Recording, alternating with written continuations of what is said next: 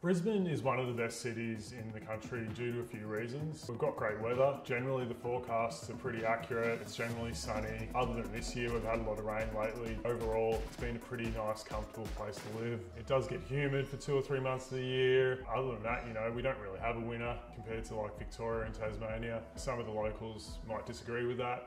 I suppose you get used to it and you do get acclimatised. Honestly, a great place to live. Another great thing is the traffic. Uh, even though Brisbane's a pretty big, bustling city, it's still got those regional feels. It's easy to get around. The traffic's not too bad. There's, you know, peak hours not really that much of an impact. It doesn't really take you any more than half an hour to an hour to get anywhere around Brisbane. It's so easy to get to the Sunshine Coast or to the Gold Coast. You're only looking at about an hour each way. On top of that, you know, we've got everything a big city needs and people are pretty laid back and easy to get along with. It's definitely a much nicer and easier lifestyle than Sydney hustle and bustle. The other thing that Brisbane's got going for it is cultural diversity. You know, we've got a lot of influences from overseas. It's been very popular for the immigrants. One of the benefits to that is that we've got heaps of great restaurants and eateries, anything from some of the best Italian, Indian, and Mexican food available. It makes it really easy when you want to find somewhere to go out for dinner. It's always affordable, and um, yeah, that's just another great aspect of Brisbane.